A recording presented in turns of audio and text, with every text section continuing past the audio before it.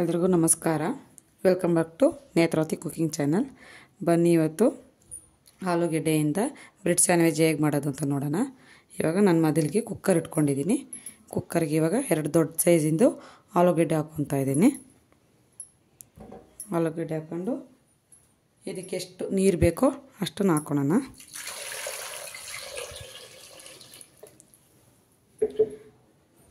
ಇದನ್ನು ಮೂರು ವಿಷಲ್ ಬರ್ಸ್ಕೊಳೋಣ ಇವಾಗ. ಚೆನ್ನಾಗಿ ಬೇಯುತ್ತೆ. ಇವಾಗ ಇದು ಮೂರು ವಿಷಲ್ ಆಗಿದೆ. ನಾನೀಗ ಸ್ಟವ್ ಆಫ್ ಮಾಡ್ಕೊತೀನಿ. ಬನ್ನಿ, ಇವಾಗ ಸ್ಟಫಿಂಗ್ ಇವಾಗ. ಆಲೂಗಡ್ಡೆ ಬೇಯಿಸಿರೋದನ್ನ ಹಾಕ್ಕೊತಿದ್ದೀನಿ. ಒಂದು ಬಟ್ಲಿದೆ. ಇದಕ್ಕೆ ಇವಾಗ ಎರಡು ಚಿಕ್ಕದು ಈರುಳ್ಳಿ ಸಣ್ಣ ಕಟ್ ಮಾಡ್ಕೊಂಡಿದ್ದೀನಿ. ಒಂದು ಸ್ವಲ್ಪ ಕೊತ್ತಂಬರಿ ಸೊಪ್ಪು, ಎರಡು ಚಿಕ್ಕದಾಗಿ ಕಟ್ ಮಾಡ್ಕೊಂಡಿರೋ ಹಸಿಮೆಣ್ಸಿನ್ಕಾಯಿ, ಸ್ವಲ್ಪ ಚಾಟ್ ಮಸಾಲ. ಇಷ್ಟನ್ನು ಇವಾಗ ಹಾಕ್ಕೊಳೋಣ.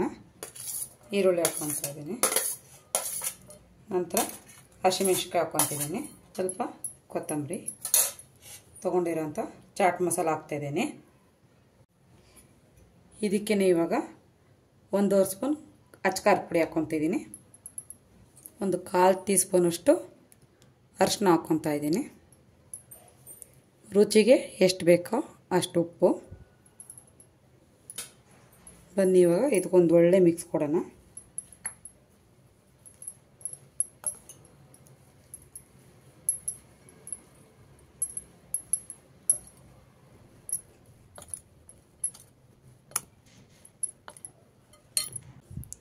ಇದಕ್ಕೆ ಒಂದು ಅರ್ಧ ಟೀ ಸ್ಪೂನಷ್ಟು ಗರಂ ಮಸಾಲ ಹಾಕ್ಕೊಳ್ತಾ ಇದ್ದೀನಿ. ಇವಾಗ ಚೆನ್ನಾಗಿ ಎರಡು ಮಿಕ್ಸ್ ಮಾಡೋಣ ಎಲ್ಲನ. ಒಳ್ಳೆ ಒಂದು ಚೆನ್ನಾಗಿರೋ ಮಿಕ್ಸ್ ಕೊಡೋಣ. ಇವಾಗ ಇದಾಗಿದೆ.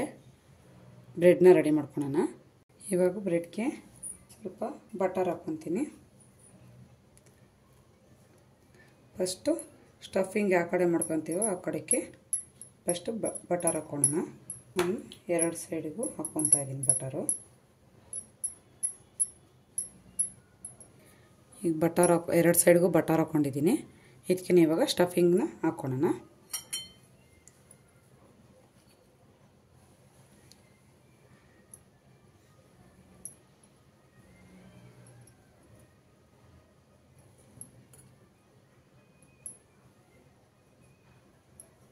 ಈ ಥರ ಮನೇಲಿ ಬ್ರೆಡ್ ಸ್ಯಾಂಡ್ವಿಚ್ ಒಂದು ಸತಿ ಮಾಡ್ಕೊಳ್ಳಿ. ತುಂಬ ಚೆನ್ನಾಗಿರುತ್ತೆ. ಸಂಜೆ ಟೈಮಿಗೆ ಈವ್ನಿಂಗು ಸ್ನ್ಯಾಕ್ ಟೈಮಿಗೆ ತುಂಬ ಚೆನ್ನಾಗಿರುತ್ತೆ. ಪಟ್ ಅಂತ ಮಾಡ್ಕೋಬೋದು. ಎರಡು ಆಲೂಗೆಡ್ಡೆ ಬೇಯಿಸ್ಕೊಂಡ್ರೆ ಪಟ್ ಅಂತ ಬ್ರೆಡ್ ಸ್ಯಾಂಡ್ವಿಚ್ ರೆಡಿ ಇರುತ್ತೆ. ಮನೆಯಲ್ಲೇ ಮಾಡ್ಕೊತೀನಿ ಆದಷ್ಟು ತುಂಬ ಒಳ್ಳೆಯದು ನೋಡಿ ಇವಾಗ ಇದು ಇದಾಗಿದೆ. ಈಗ ನಾನು ಈ ಥರ ಫೋಲ್ಡ್ ಮಾಡ್ತಿದ್ದೀನಿ. ಆಗಿದೆ. ನಾನೀಗ ಈಗ ಮೇಲುಗಡೆ ಕೂಡ ಬಟರ್ ಹಾಕ್ಕೊತಾ ಇದ್ದೀನಿ.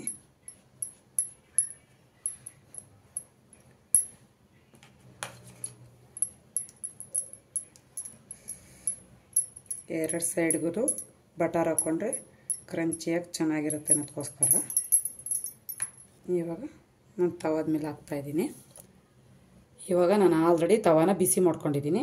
ಇವಾಗ ಇದಕ್ಕೆ ಮಾಡ್ಕೊಂಡಿರೋ ಸ್ಯಾಂಡ್ವಿಚ್ ಹಾಕ್ಕೊತಾ ಇದ್ದೀನಿ. ಮತ್ತು ನನ್ನ ಮೇಲೆ ಕೂಡ ಬಟನ್ ಹಾಕ್ಕೊತಾ ಇದ್ದೀನಿ.